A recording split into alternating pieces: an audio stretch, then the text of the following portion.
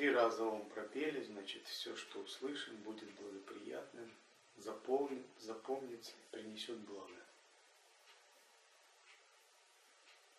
Древняя традиция, согласно которой перед получением учения и после него поется трижды ом. В чем ее смысл? Чтобы мы через звук ом соединились с вибрациями Абсолюта. Вообще каждая мелочь в жизни садху обладает огромной глубиной. В ней нет ничего поверхностного, ничего несерьезного.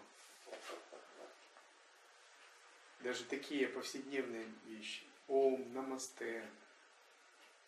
Если по-настоящему вы как садху практикуете глубоко в традиции, вы осознаете эту глубину, и эта глубина переводит вас священное, в сакральное измерение. Она не дает вашему уму падать до обыденного восприятия.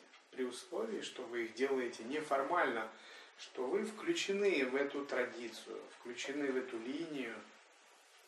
Вы прикоснулись к этой глубине благодаря передаче от своего мастера или чтению книг, или прикосновению к духовной культуре садху. И вот каждая мелочь, очень много мелочей в жизни садху, без которых практика немыслима, невозможна. Я не верю во все эти популярные такие подаваемые в рекламном стиле духовные практики, переносимые на Запад, которые обещают нам быстрое просветление, легкий путь практики. Все это можно сказать, только дхарма наполовину. Попытка приспособить дхарму, она всегда чревата тем, что мы можем из дхармы сделать что-то другое. Но это уже просто не будет дхарма, это будет упадхарма. То есть дхарма наполовину какая-то другая дхарма. Потому что на духовном пути не дхарма должна приспособиться, а мы должны приспособиться. То есть, вернее, не приспособиться, а трансформироваться, измениться. Вопрос стоит об изменении нас, потому что центром в духовной жизни является человек, его проблемы, его карма. Конечно, мы вольны выбирать в дхарме любой путь, любой стиль, любой статус, любую традицию, любую школу. Это бесконечный мир – и каждый найдет в соответствии со своими склонностями. В дхарме то, что ему близко. Но ее нельзя менять. Выбирать можно то, что уже есть, но изменять ее бхаву, изменять ее стиль смысла нет, потому что, как говорят, с водой выплеснуты ребенка. Вот та глубина, чистота, сакральность, священность, святость, которая передается благодаря линии преемственности, может быть потеряна, и тогда это уже не будет дхарма, вместо нее что будет? Ну, что-то другое. Это как есть алмаз, а есть стекло. Вроде бы то же самое, огранка та же. И стекло можно поместить в красивый перстень, красивое кольцо. Вроде то же самое. И блестит так же. Ну, к ювелиру пойдете, он скажет, вообще стекло. То же самое и с дхармой. Даже это не вопрос в методах. Методы-то могут быть те же самые. А скорее вопрос в пхаве. Вопрос в отношении. Традиционно дхарма – это другое измерение, это не человеческое измерение. И вот человеку предстоит постичь дхарму, расти до уровня дхармы. Дхарма это божественный принцип, не человеческий, апурушея. Поэтому все веды это апурушея. То есть человек, переходя из человеческого измерения, идет в нечеловеческое. В какое? В божественное измерение благодаря Дхарме. Есть дистанция всегда между Дхармой и человеческим измерением. И мы понимаем эту дистанцию и выражаем почтение Дхарме, уважение священным писаниям, представителям Дхармы, самайным братьям. Мы понимаем, насколько это глубоко, важно, насколько это сакрально, и все это составляет Дхарму, ведическую культуру. Но когда мы начинаем эту дистанцию ломать искусственно, говорить, да нет никакой дистанции. Дхарма и жизнь мирская, обыденная жизнь, светская жизнь, обыденные ценности, материалистическое восприятие – это одно и то же. Мы вот тонко упускаем эту бхаву. Он говорит, дхарма – это техника. Вот делай там промывание носа, стой на голове, делай асаны. Это будет дхарма. Ходи в фитнес-центр. Все здорово, и ты практикуешь дхарму. Но это не религия, никакой религии, никаких богов, никаких отношений гуру-ученик. Все так легко, спонтанно, свободно, по-европейски. Мы на коне. И что? Все, дхармы нет. Есть набор каких-то бездушных техник. Есть спорт. Есть занятия для похудения. А дхармы нет. Даже и в Бавнине, и близко даже нет. Потому что дхарма это нечто совсем другое. Это связь с сакральным, священным измерением. И эта связь, она идет от древних святых, от мудрецов, от риши, от божеств. И мы эту связь передаем через древо прибежища, через линию гуру-ученик, через живую реализацию мастеров в этой жизни. И вот тогда это будет настоящая дхарма. Та, которая благословляет, та, которая несет реальное благословление святых, как говорят, Бога вдохновенная. Тогда каждая мелочь, она будет расцветать в вашей душе. Каждый поклон. Вот когда вот мы так делаем, дхармы нет. Нет дхармы. Есть вот такой жест. Это то же самое, как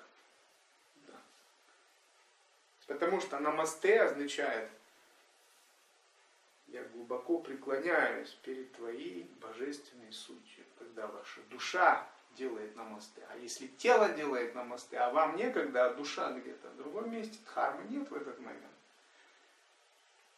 Таким же образом, когда мы садимся перед алтарем и что-то читаем, какие-то тексты, но в душе нет расцвета, нет восторга, нет благоговения перед божествами, перед святыми. Это в душе нашей не вспыхивает немысленным блаженством, радостью, благоговением. Тоже дхармы нет, есть бездушный внешний формальный ритуал, когда преданность в душе не появляется.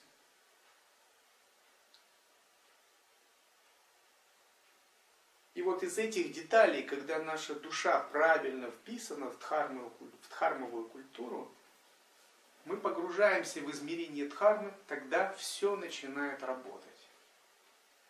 Самые простые методы, простые пранаямы, мантры, медитативные техники, все начинает работать, потому что все обожествляется, все становится сакральным, все становится священным, все несет благость, благословение. И тогда мы находимся в самвид девата чакре, в мандале божественного осознавания. И тогда люди нас окружающие, это божества, в телах, играющие в телах с нами, как мы можем их не уважать? Тогда все действия это лила игры божественного, которая постоянно проявляется. Как не прийти в радость и восторг? Как можно иметь материалистическое сознание в таком случае? Тогда все мужчины и женщины проявления мужских и женских божеств. Тогда все ситуации это даршины Бога, Абсолюта, которая воспитывает Тогда каждый дом это ашан, это храм. Дом может быть неказистым, маленьким, но если там есть божества, есть Бог, он свят, и это дворец. Если дом большой, красивый, но там нет благословения, это просто нагромождение бетона, камней и стекла.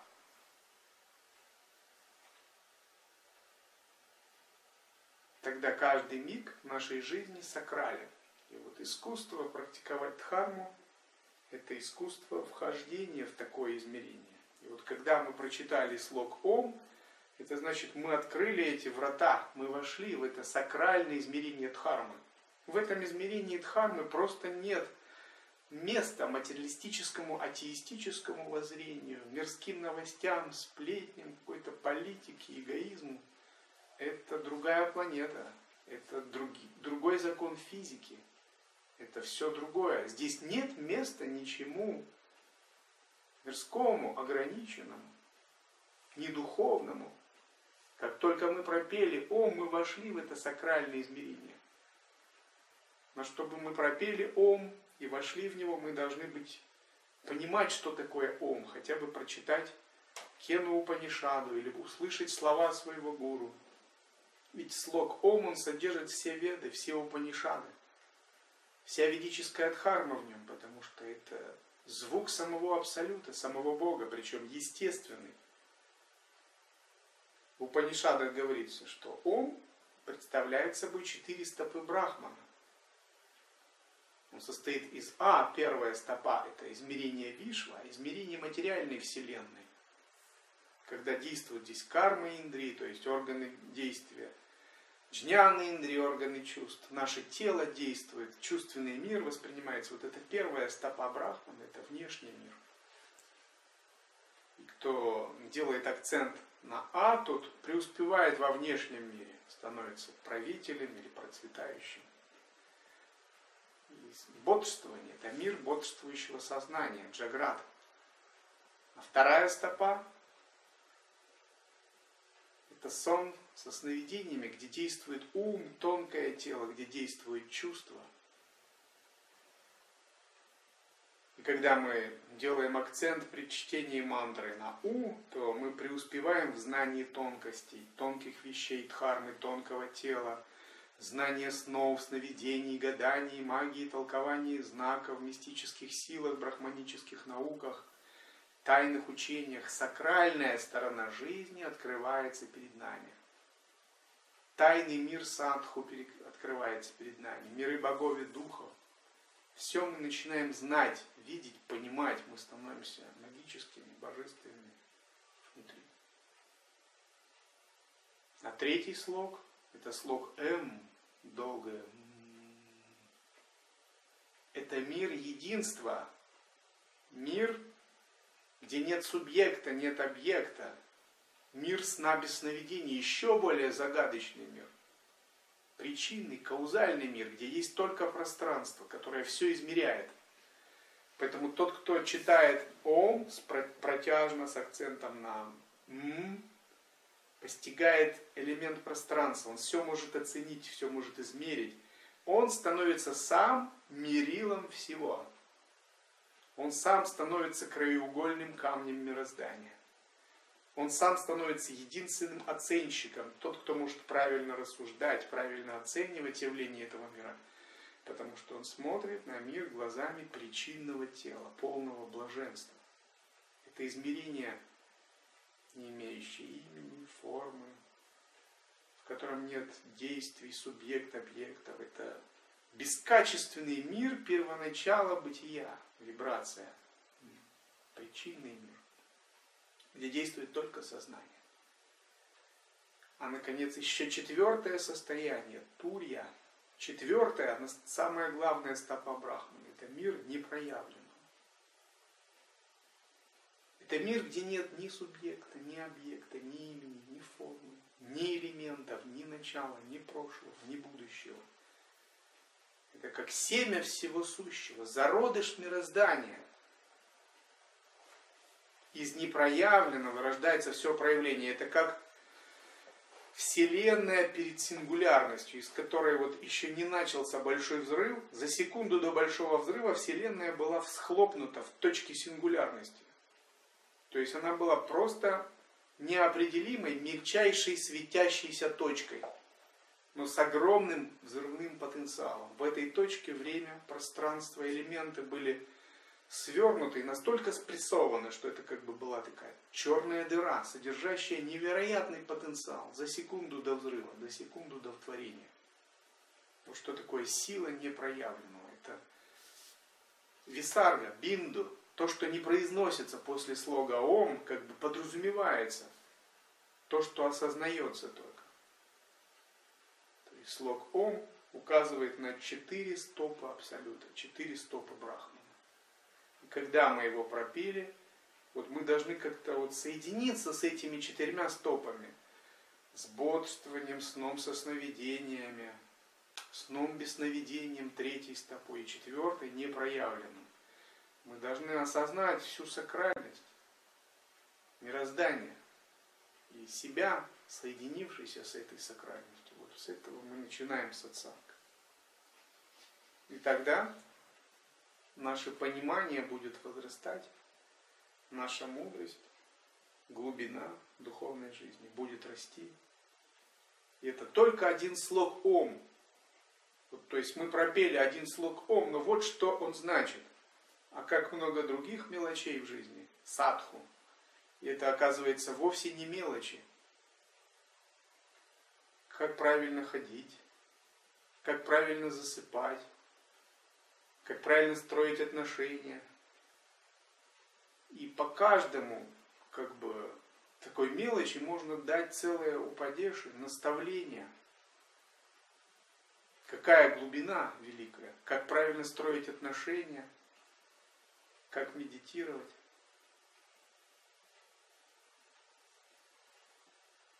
Любая религия, любая духовная жизнь начинается с того, что мы задаем правильные вопросы – Часто духовные искатели склонны задавать себе, другим учителям неправильные вопросы. Ну, то есть, не то чтобы неправильные, неважные, второстепенные. Но есть пять главных вопросов. Что есть Бог? Кто есть Я? Что есть Вселенная? В чем смысл жизни? И что мне делать со всем этим? Когда я узнал предыдущие четыре вопроса. Вот мудрая душа, обладающая элементарной мудростью, она всю жизнь задает только эти вопросы. И она всю жизнь ищет правильные ответы на эти вопросы. То есть мало задать вопрос, нужно задать правильный вопрос. И нужно получить на него правильный ответ. Когда мы задаем эти пять главных вопросов, то мы считаемся духовными искателями. И эти правильные вопросы нужно задавать самому себе. Нужно их задавать до тех пор, пока эти вопросы не займут наш ум так, что они не станут самыми главными. И мы увидим, насколько мелочны другие вопросы. Что сказал другой человек? Как дела у соседа? Каковы отношения с другой страной? Как там в геополитике в общем? Все это совершенно мелочные вопросы по сравнению с этим. Но то, что мы не понимаем, мелочность этих вопросов, означает, что по-настоящему мы не спрашивали, не задавали эти вопросы. Я читал, смотрел, вернее, интервью по видео одного такого человека, архитектор, философ, мыслитель, ему уже 99 лет. И он как-то сказал такую вещь. Мне все равно, по каким колебаниям движется там орбита Земли и другие планеты. Мы, как человечество, в глупости живем, заблуждаемся. Наши ученые исследуют какие-то великие вещи. Космос, выясняют детали движения черных дыр и галактик, а вот у себя мы сами со своим смыслом жизни разобраться не можем. Мы сами живем глупо. И смысл тогда всех этих великих вещей. Таким же образом, когда главные вопросы не решены, нам рассказывают про курс доллара, курс евро, что упало, что поднялось, курс нефти – какой политик победил, какой проиграл, кто ввел санкции, кто отменил. Такие важные вещи. На самом деле, действительно, наша жизнь так зависит от этого, точно. Мы обсуждаем с другим, кто что сказал, кто что подумал о нас. А самые главные вопросы это когда будем обсуждать? Что есть Бог? Кто есть я? Вы когда-нибудь слышали по радио? Дорогие товарищи, граждане, сообщаем вам главный вопрос на повестке дня. Кто мы? В чем смысл жизни? Нет, не задают такие вопросы, не отвечают, не ищут на них. В этом свойство сансары – увиливать, уходить от главных вопросов. Когда вы прямо задаете вопросы, сразу человека можно протестировать, кто он. Сразу посмотрите его суть. Или он увиливает, уходит от этих вопросов, отшучивается, или он говорит, да, это самое главное, и начинает вовлекаться в этот вопрос, обсуждать его и говорить, что да, это самый главный вопрос. Или он уходит от них. Поэтому, по-моему, в Дао Цзин говорится, если мудрецы говорят простолюдинам о Дао, то простолюдины смеются. Но для мудрых, для садху эти вопросы самое главное. И мы должны получить правильные ответы на эти вопросы. И откуда мы их получим? Когда мы сами их начнем себе задавать, мы осознаем, насколько от этих вопросов зависит наша жизнь. Что, возможно, наша жизнь такова именно потому, что в свое время мы эти вопросы не ставили. Мы не нашли ответа. Что мы воплотились здесь именно, чтобы, возможно, найти ответ на эти вопросы. И мы живем так, а не иначе, потому что мы не нашли ответа на эти вопросы, к сожалению. Или мы воплотились здесь в надежде, что мы найдем их, что нам здесь расскажут, или мы сами получим ответы. Но так или иначе, вся наша жизнь, она зависит от этих вопросов. Что вся сансара, вся Вселенная, она только и существует, потому что ответы на эти вопросы не найдены. Почему? Потому что те, кто нашел уже ответы на эти вопросы, они ведь уже не такие, они же не люди. И они не здесь. Они, если здесь, то они или гуру, или Маха Садху святые, или они боги, они не здесь. Они деваты, ситхи, нитти ситхи, дживанмукти, махапуруши. Они-то уж точно ответили себе на эти вопросы, они знают ответы. А мы здесь именно потому, что мы не знаем ответ на эти вопросы. Потому что тот, кто знает ответ на эти вопросы, он играет в единстве с Богом, с Абсолютом. А тот, кто не знает, он живет по закону кармы. Знать означает понимать, жить, реализовать. И нет важнее вопросов. И вот когда мы принимаем то, что нет важнее вопросов, нежели эти, пять главных вопросов, что есть Бог, кто есть я, что есть Вселенная, в чем смысл жизни, что мне делать, тогда мы становимся садху. Когда мы пытаемся ответить на эти вопросы, мы видим глобальность этих вопросов, насколько наша жизнь определяется ответом на эти вопросы. Все науки, культура, искусство, экономика, политика, отношения между людьми, уклады жизни, все это зависит от этих вопросов. Это как базовые коды, базовые настройки. Экономика бывает разным, бывает рабовладельческий строй, бывает коммунизм, социализм, племенной, родовой, общинный строй, сколько угодно. Но экономика зависит от того, как люди отвечают на этот вопрос. Культуры бывают разные. Античная, римская, эпоха Возрождения, современная, европейская. Сколько угодно типов культур бывает, но опять же, культура зависит от того, как люди отвечают на этот вопрос. Это как бы базовые настройки, базовые коды мироздания. Правильный ответ на этот вопрос, он меняет нас, он меняет среду обитания, он меняет нашу энергию, меняет наше тело, меняет наше окружение. Он меняет физику мира, времени, понимание времени и пространства. И вот квантовая физика, как это не парадоксально сейчас, наиболее близко подбирается с этими ответами.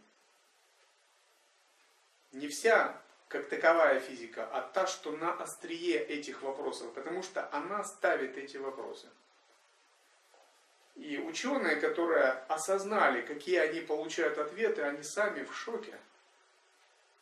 Потому что они говорят, если бы простые люди все это поняли, неизвестно, как бы они вообще реагировали, как людям объяснить, что мир иллюзорен, как людям объяснить, что наблюдение формирует время и пространство, что не только будущее вариативно, что прошлое даже вариативно.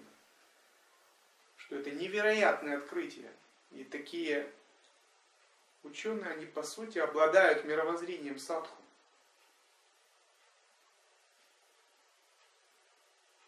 Так, когда мы ставим эти правильные вопросы, мы должны получить правильные ответы. И мы приходим к выводу, что правильные ответы мы получить не можем. Потому что душа всегда ограничена. Мы ограничены. Такие ограничения называются кончуки. Они еще называются мало, как бы загрязнение. То есть наша душа несовершенна. Это не тот измерительный прибор, который в совершенстве может дать ответы на все вопросы о Вселенной, о мире, об Абсолюте, о Боге, о смысле жизни. Мы не можем признать нашу душу совершенным инструментом познания. Ну, это естественно. Например, можете ли вы оперировать цифрами больше миллиарда? Вот так легко. Вычислять. Да вообще представлять даже. Триллионы, секстиллионы, дециллионы, квадриллионы. Мы видим, что когда мы выходим за пределы там, тысячи, сотен тысяч, все, наш мозг дает сбои. Мы уже не можем оперировать такими вещами, а цифры бесконечные.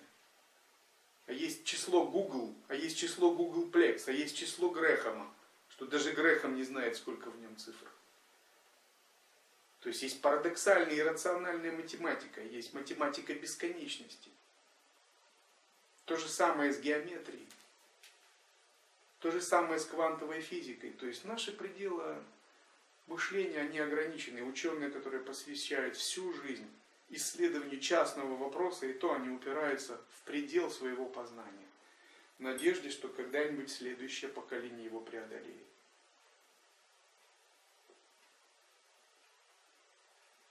И мы понимаем, что мы не можем сейчас на данном уровне, опираясь на себя, на свое понимание ограниченное, человеческое, дать ответ на эти вопросы. Потому что есть определенное наложенное ограничение. И одно из них это ограничение на всеведение. Мы, к сожалению, не всеведущие. Всеведение один из аспектов Шива, один из аспектов Абсолюта. У нас есть наложение. Есть определенное загрязнение. Такие загрязнения бывают трех видов. Анава мало, карма мало и майя мало. Это известные загрязнения.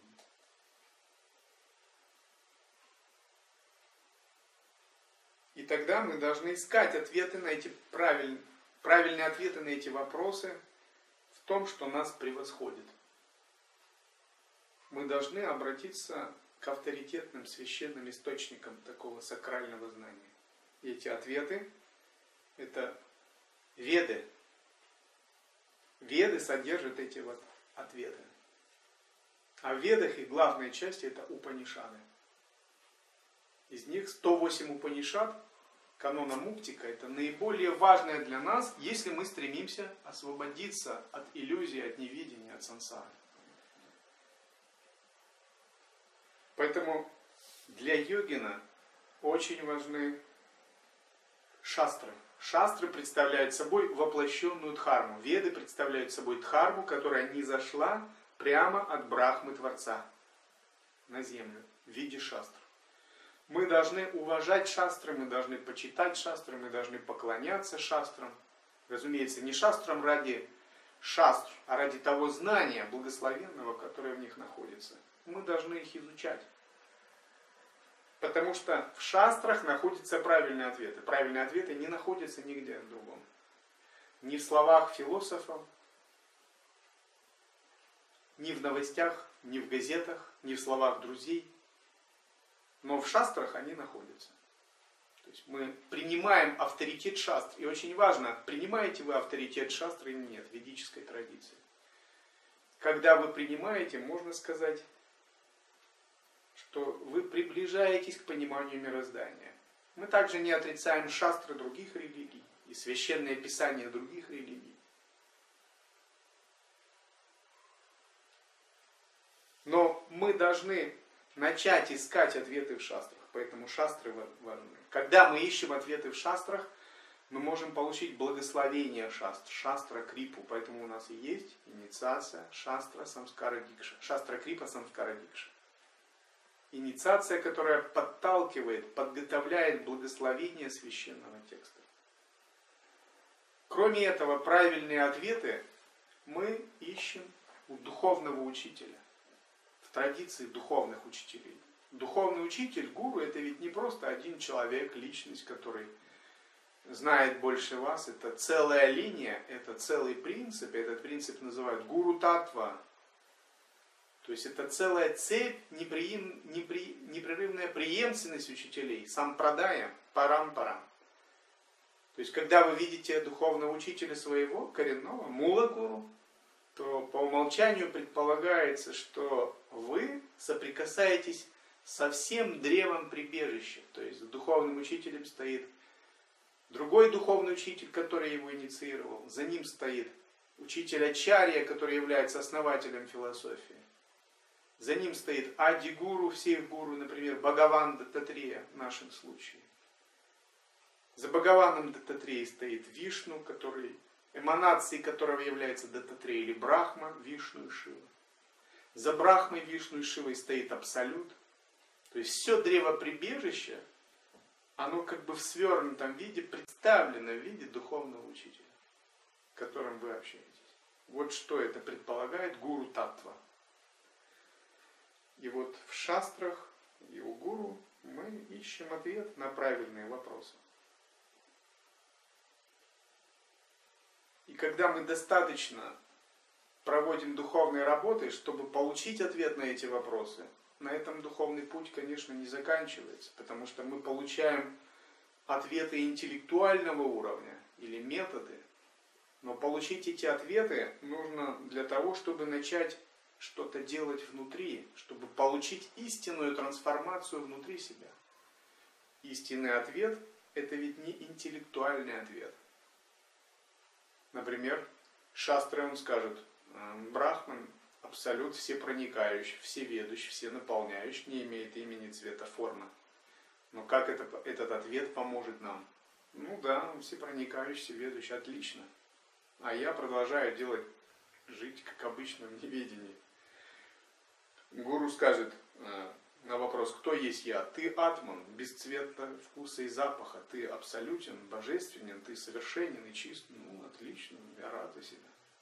А что делать-то? Как мне жить с этим знанием, чтобы решить конкретные проблемы? То есть интеллектуальные вопросы, интеллектуальные ответы никогда не дадут вам удовлетворения. Они не дадут вам счастья. Они просто как-то. Мы должны практиковать.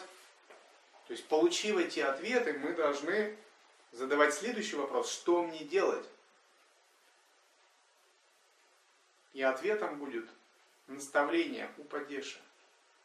Это конкретно применительно к нашему человеческому рождению, к нашей судьбе, к нашей жизни, к нашим обстоятельствам, к нашей жизни. И тогда даются наставления о духовной практике, о садхане.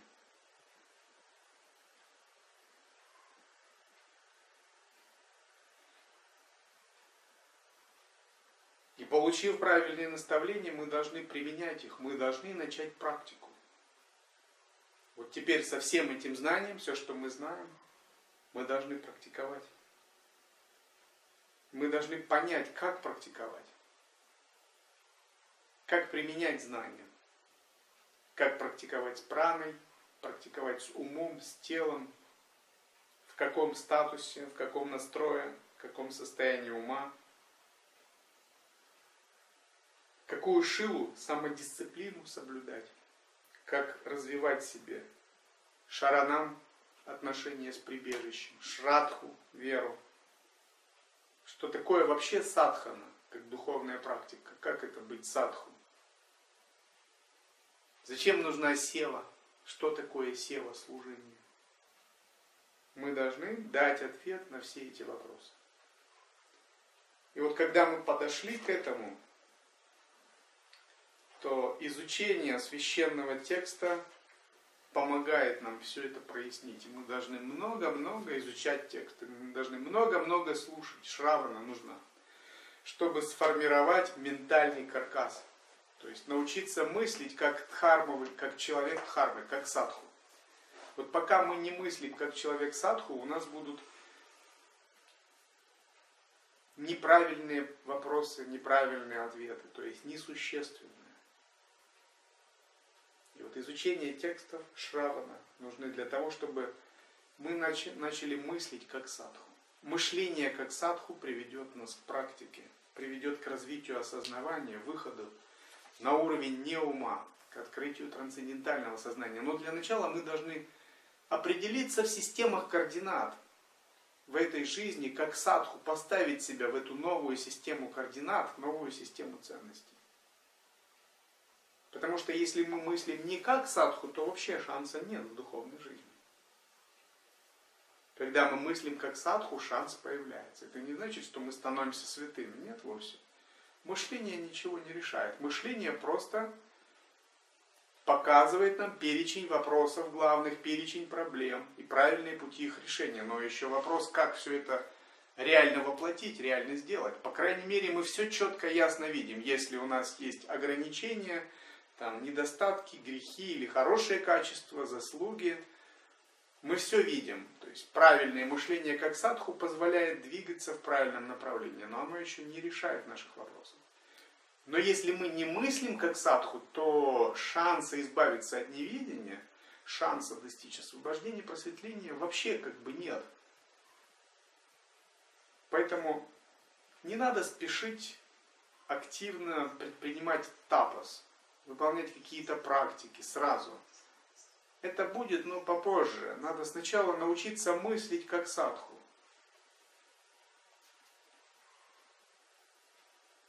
научиться мыслить как садху. С помощью мышления понять все аспекты жизни, как садху в той или иной ситуации думает, размышляет, смотрит. И вот йога Васиштха это такая передача от Васиштхи, которая учит нас мыслить как садху. Фактически, что такое йога Васиштха? Это диалоги Рамы и Васиштхи. Рама спрашивает, а Васиштха показывает, как он мыслит. И вот нам надо понять, как мыслит Васиштха, чтобы примерить на себя мышление Васиштхи. И когда мы смотрим, как мыслит Васиштха и сравним со своим, мы думаем, ого, вот это да, вот это глубина, вот это широта, вот это видение. То есть, если сравнить наше мышление и мышление Васиштхи, это два разных мышления. Это как небо и земля. Да? И вот когда вы сталкиваетесь с чем-либо в жизни, поставьте на свое место Васиштху. Что бы он сказал? Вот вы что-то говорите, а что бы Васиштха на вашем месте сказал? Вот если вы так будете делать, это будет гуру йога. Я так часто делаю, когда возникает какая-то ситуация, какой-то вопрос, я просто думаю, вот рядом со мной Васиштха или Даттатрия, а что бы он вообще сказал? А что скажет Васиштха? Васиштха говорит вот словами йога Васиштхи. Дататрея говорит словами Авадхута Гиты. И когда я представляю, что они так говорят, мне все примерно становится понятно, что делать в ситуации, куда она идет и зачем она существует. И вот воспитание культуры мышления святых это очень важно, чтобы мы могли сами себе на любую ситуацию ответить словами святых. Со временем эти ответы перестанут быть интеллектуальными, они станут идти из глубины нашего внутреннего света. Потому что ведь мышление Васиштхи это ведь не мышление, это передача божественного света, но выраженная в словах, потому что свет кто же его увидит из людей? Люди способны только слова слышать, логику, концепции. Но на самом деле Васиштха ведь не в словах, не в концепциях, не в писаниях Васиштха, это божественный свет. Даттатрея то же самое, это Брахман, сияющий божественным светом. Поэтому сформировав в себе способность мыслить как святые, мы пойдем дальше. Мы сформируем способность быть в состоянии как святые. Мы пойм... Если мы поймем ход их мыслей, то мы проникнем и дальше, в источник, откуда у них такие мысли. Меня всегда вот интересовало, откуда у святых вообще такие мысли? Вот кому такое в голову приходит? Я задавал себе вопрос. Все люди как люди размышляют о соседях, о деньгах, о рубле, о зарплатах, о бизнесе, о политике. Кто на ком женился, кто с кем развелся, у кого сколько детей, кто сколько зарабатывает. А здесь вы открываете, а это все иллюзия. Это все игра. Откуда у святых вообще такие мысли? Почему так сильно отличается их мышление? Потому что они соприкоснулись с источником. Эти мысли на самом деле не так важны, как то, откуда они зашли. Потому что их мысли это следствие пребывания их сознания в божественном источнике. Сравните мысли Рамалинги и свои мысли за день. Вот так возьмите песнь божественной милости. И возьмите, запишите за день свои мысли. Потом почитайте. Будет как бы понятно, в чем вы проигрываете сансаре. И вот мышление Рамалинги это то мышление, которое освобождает. Но оно приходит из единства с божественным источником. А наше мышление, оно происходит из другого места, не из источника. Оно происходит из ума, из эго, из памяти, из разных других вещей. И вот гуру-йога это синхронизация ума со святыми, чтобы наше мышление стало подобным святым. Сначала мышление. Без мышления не обойтись. А потом а потом это будет тоньше, это синхронизация с сущностной природой, со светом Рамалинги, светом Васиштхи, светом Тататреи.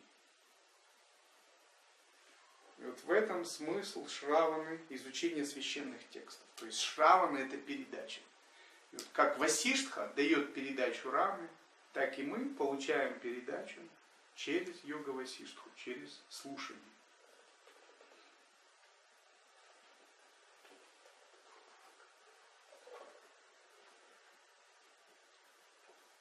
Откажись в разуме от отождествлений себя с, любимой, с любыми объектами. Итак, что советует Васиштха? Васиштха говорит, откажись в разуме от отождествлений себя с любыми объектами. Почему так Васиштха говорит? Откуда у него такие мысли, слова? Потому что сам Васиштха в своем разуме, он отказался от такого отождествления. Он не отождествлен с объектами. Что значит не отождествлен? Нет ограничений, ограничивающей связи. Вот с любым объектом, даже квантовая физика очень много рассматривает, есть понятие квантовая запутанность объектов. Возникает связь, момент восприятия. Вот я субъект, другой человек или кинокамера это объект, или диван, стол. Когда я смотрю в процессе наблюдения, между мной, между камерой, между человеком, между потолком, между люстрой, ковром, полом, возникает связь. Все. Мы вступили в определенные отношения. Эти отношения в квантовой физике называются квантовая запутанность. То есть особенность квантовой запутанности такова, что время, расстояние часто не играют роли для нее. То есть, если я думаю, то я могу связаться, в принципе, с этим человеком, даже если он на Луне находится. С его голографическим тонким объектом, тонким телом, я смогу с ним связаться. Вот это отношение отождествления. А Васиштха говорит, откажись от таких отношений. Откажись от этой запутанности. Не создавай эту связь. Не делай отпечатки в своем уме. И вот как это сделать? Васиштха реализовал это, поэтому он свободен. И мы должны понять, в чем суть его наставления. Объекты неплохо. Это энергия, это природа, это вселенная. Восприятие тоже неплохо. Это работа органов чувств. В органах чувств, в каждом органе чувств есть божество, ответственное за восприятие. Мы созданы так. А что плохо? Отождествление. Отождествление означает, что каждый акт восприятия сопровождается цеплянием, сопровождается отпечатком, сопровождается привязанностью к этому. Вот это плохо уже. То есть мы не умеем воспринимать, не цепляясь, воспринимать, не привязываясь. Васишка говорит, вот это изъян. Если у тебя есть этот изъян, освободись от него, преодолей его. А затем Живи, где тебе хочется. Дома или в горной пещере. Вот когда мы преодолеем этот изъян, мы можем жить, где хотим. Можем действовать, как хотим. Действовать полностью свободно, спонтанно. Потому что преодолев этот изъян, мы воссоединяемся с божественным источником. И божественное начинает у нас внутри играть. А оно уже не подвержено ограничениям, оно не терпит каких-то запретов, правил, распорядков, формальностей, потому что божественное само по себе из другого мира. Оно трансцендентно, оно сакрально. И тогда мир людей физический мир, материальная вселенная становится для нас просто маленькой лужицей. Он перестает для нас быть чем-то ограничивающим со своими кармическими правилами, кармическими законами. И Васиштха говорит, откажись от, это, от этих, этих отождествлений и живи, как тебе вздумается. Хочешь дома, хочешь в горной пещере, хочешь в монастыре. Потому что все это теперь уже не важно. Почему Уходят люди в горы медитировать, в пещеры, аскетами становятся, отшельниками, в монахи уходят. Почему? Да потому что сильное отождествление. Потому что невозможно преодолеть эти отождествления, когда объект отождествления постоянно рядом. Постоянно эта связь 24 часа в сутки возобновляется. Как ее преодолеть? Потому что ум очень слаб, по слабости человеческой. когда постоянно идут сбивающие правила. Как это отказаться от этого? Очень сложно. Но если мы можем научиться этому, то можно жить где угодно. Все это уже перестанет нас связывать.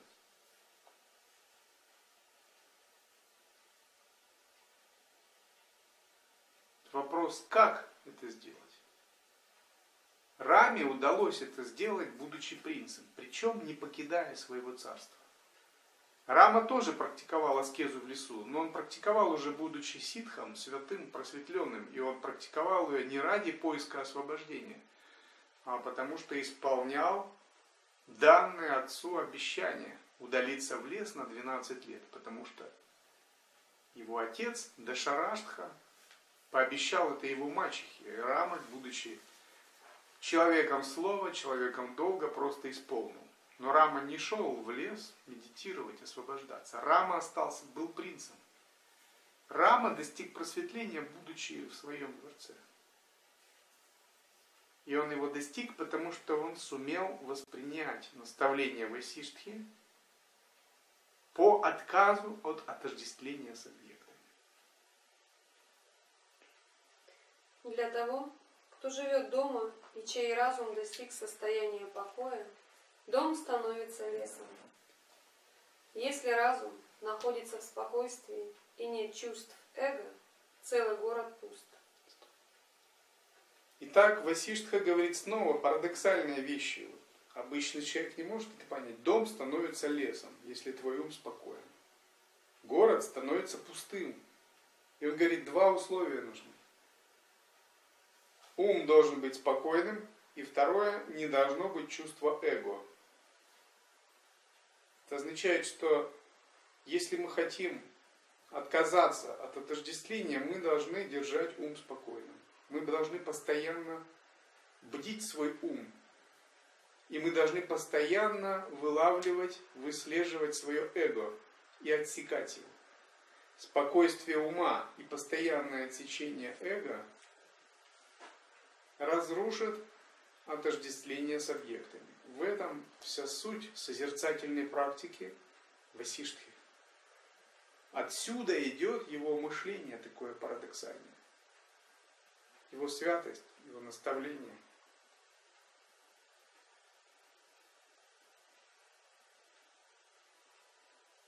То есть, можешь поддерживать ум спокойствия? Да, нет проблем.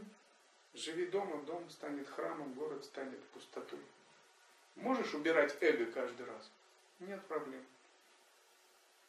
А если не можешь, ну ищи другие способы успокоить.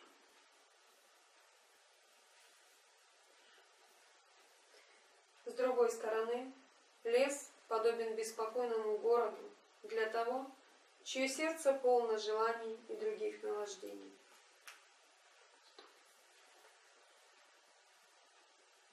Для нас существуют горы, существует лес, существует дом только потому, что мы сами люди. Мы сами сильно разделяем. Для святых мудрецов это одна иллюзия, что там, что там. У них нет никакого отождествления. Когда-то я медитировал в лесу, и когда я уединился в лесу медитировать, я обнаружил, что в лесу очень много насекомых, много птиц, много животных. И лес это ничуть не меньший город. Это такой же город, только в городе живут другие живые существа. У меня появилось много друзей среди лесных жителей. Там мышка, там стрекоза, а рядом муравейник. Я каждый день приходил его кормить, если кидаешь хлеб. Много птиц, ветер. Это целое общество. И при желании, если бы захотел привязаться, можно найти много родственников, много друзей, много связей в лесу и также отождествиться с ними. Ничуть не хуже.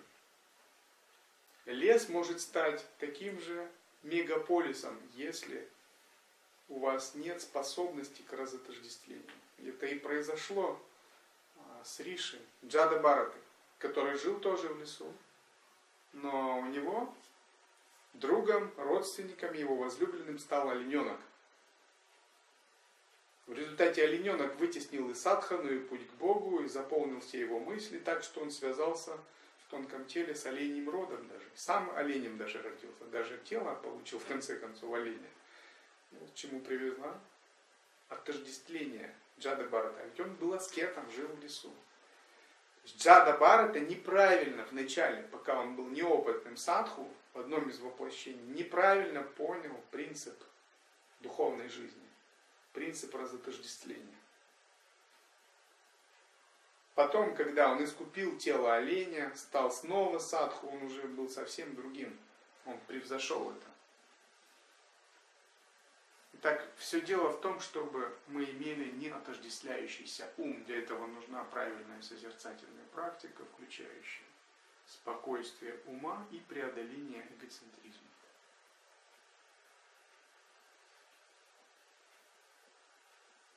И вот мы должны понять все детали, как это иметь спокойствие ума, как это преодоление эгоцентризма. Ведь это слова, это просто общие фразы, они требуют расшифровки.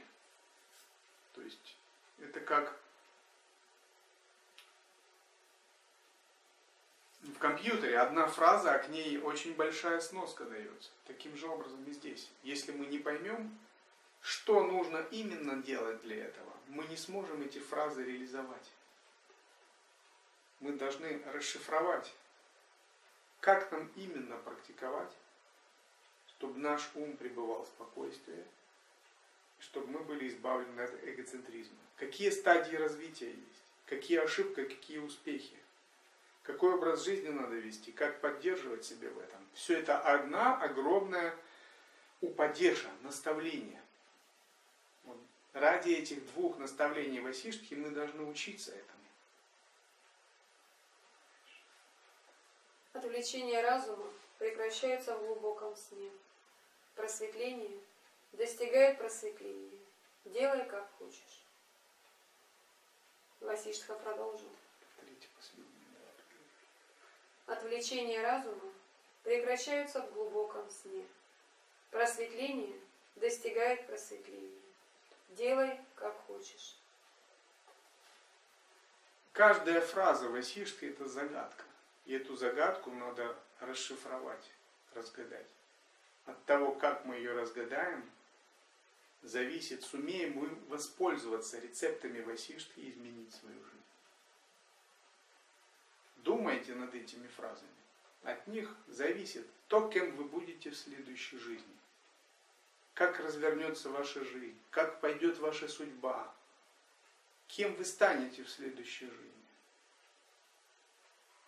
А если не сумеете разгадать, ну обращайтесь ко мне.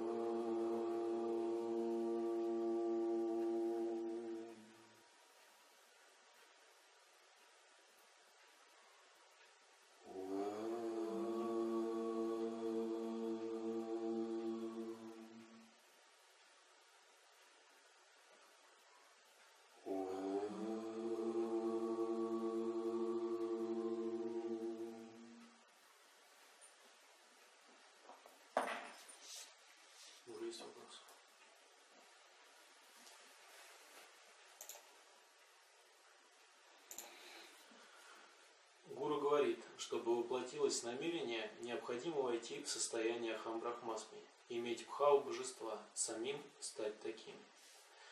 Только с этого уровня санкальпа реализуется. А как происходит реализация желаний и просьб, когда молятся Богу с верой?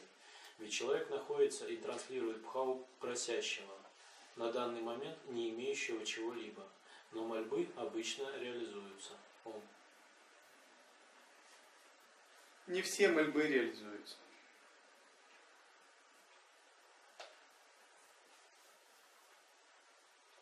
Реализуются те молитвы, которые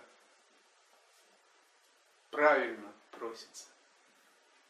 Если это молитвы низкого уровня, они могут реализоваться из неправильного состояния. Если это молитвы высокого уровня, они все предполагают правильное состояние.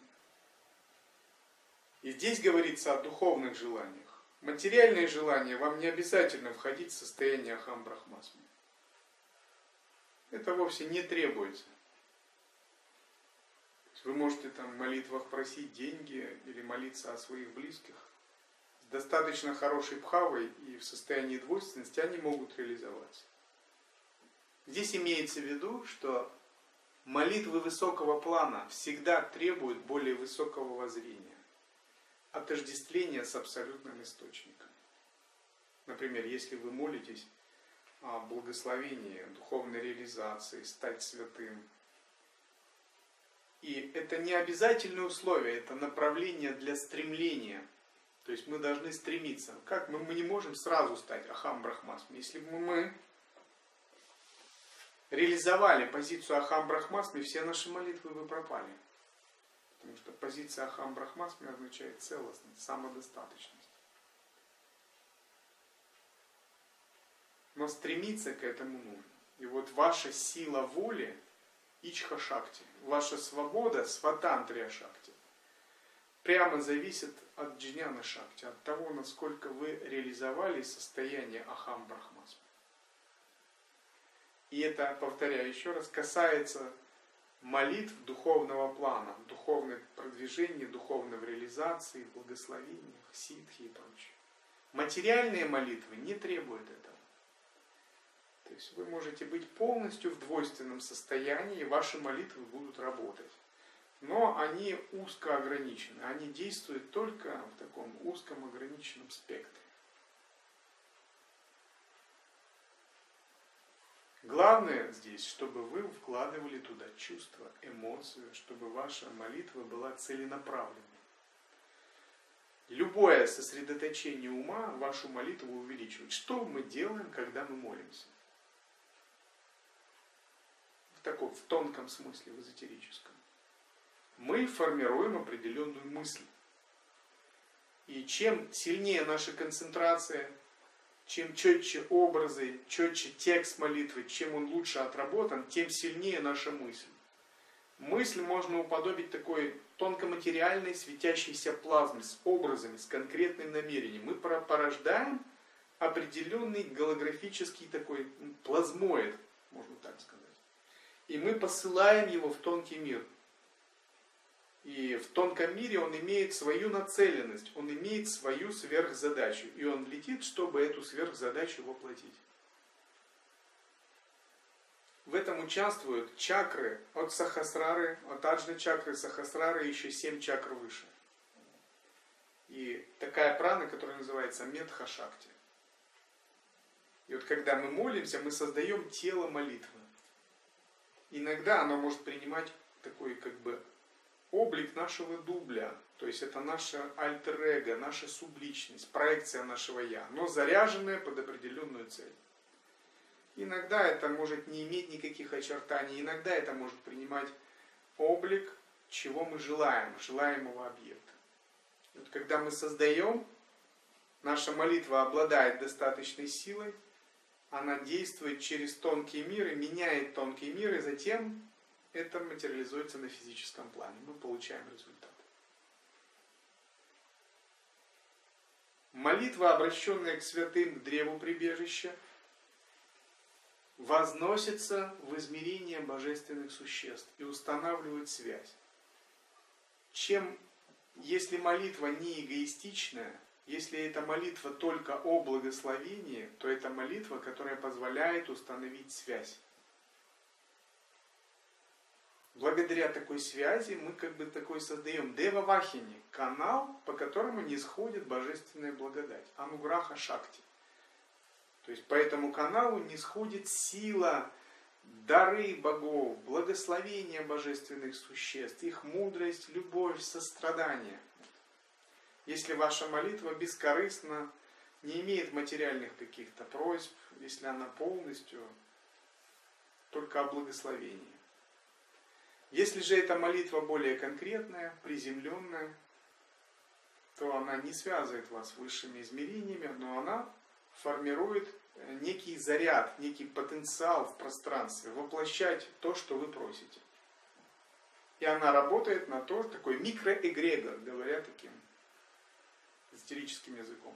И она начинает работать на то, чтобы воплотиться, чтобы материализоваться. Она начинает стягивать под себя определенную силу, проявлять активность, даже входить в умы других живых существ, и она начинает работать на то, что вы хотите воплотить.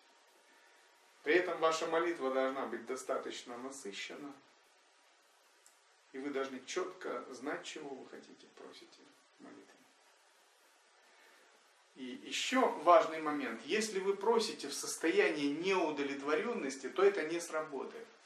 Почему говорится, надо быть в состоянии ахам брахмасми? Просить, молиться надо в состоянии плода, в состоянии результата.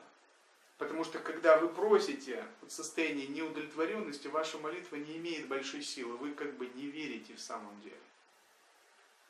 То есть ваш основной потенциал энергии, если вы пребываете в неудовлетворенности, в отчаянии, он связан с данной ситуацией, с данной кармической ситуацией. И такая молитва слаба, она не реализуется. Но если вы просите не как неудовлетворенный человек, а вы действительно просите как самодостаточный, в состоянии, что ваша молитва уже материализовалась, то она неизбежно будет материализовываться. И вот есть большая разница. Просить как голодный дух, голодный дух никогда не получит. Или просить как божество, как царь. Вот в этом имелось в виду пребывать в близком состоянии Ахам Брахмасма. Есть такой рассказ про мистика суфийского Джунаида, который пришел, по-моему, к царю Акбару. Может быть, не к нему, к другому, я не знаю, не помню. И ему сказали, царь сейчас занят, подождите. И он как-то так прокрался и услышал, как царь молится Богу.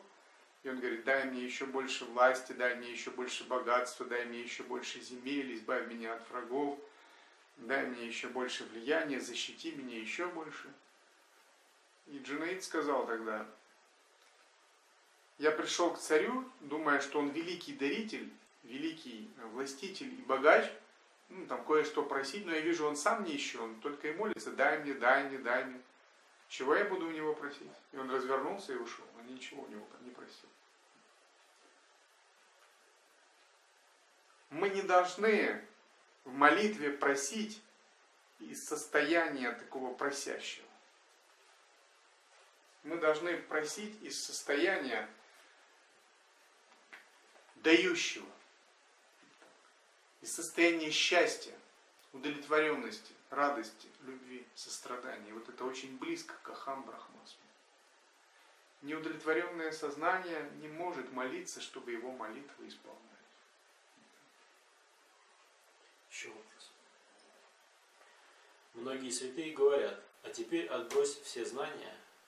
На каком этапе это происходит? Например, гуру Сарахи сказал, забудь все, что знаешь.